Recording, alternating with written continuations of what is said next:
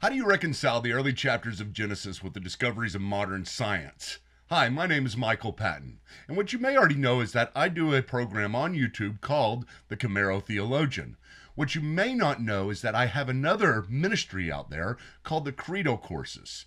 And the Credo Courses is a big ministry devoted only to bringing you the best in Christian scholarship and teaching you the most important theological issues about God today. We've got tons of classes out there, and you've got to go check it out.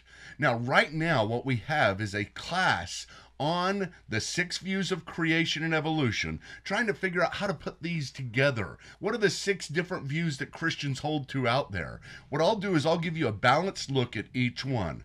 But the best part of it is this I've got it on a video. I've got it on audio. I've got the PowerPoint for you if you are a teacher. I've also got student handouts. We've done everything for you.